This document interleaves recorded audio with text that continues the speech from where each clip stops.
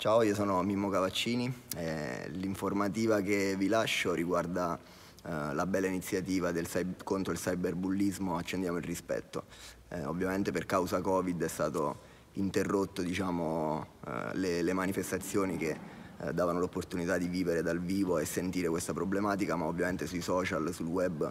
eh, è ancora molto attiva, ci sono tante informazioni, quindi invito a tutti comunque a rimanere connessi su questo problema e aggiornatevi.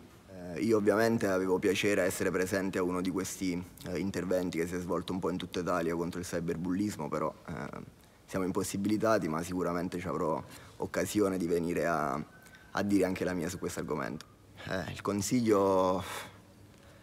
non è facile per me ovviamente, io vengo da una generazione dove i social ho imparato ad usarli diciamo, eh, insieme alla crescita dei social. Adesso mi rendo conto che per i genitori non è un compito semplice, eh, potrei dire semplicemente ai genitori magari di stare un pochettino più attenti alle fasce d'età un po' più piccole, eh, perché poi davvero sul web è un mondo così talmente ampio e aperto dove le difficoltà si possono nascondere, gli imprevisti dietro qualunque social, qualunque messaggio, qualunque piattaforma, quindi non so sinceramente quale consiglio dare, ma posso dire sicuramente di fare attenzione. Sì, io sono un clown di corsia, eh, anche noi, causa Covid, eh, per ovvi motivi negli ospedali è un po' che non,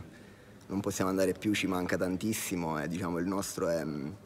ci chiamano i dottori del sorriso, noi cerchiamo di portare un pochettino di, uh, di gioia e serenità a quei pochi minuti che riusciamo a entrare nelle stanze, ehm, anche a detta dei dottori, ma è una cosa anche scientifica questa, che il sorriso fa bene, aiuta eh, non solo mentalmente ma anche fisicamente chi diciamo, si trova in difficoltà. Top Volley AV, accendiamo il rispetto tutti insieme e un abbraccio a tutti.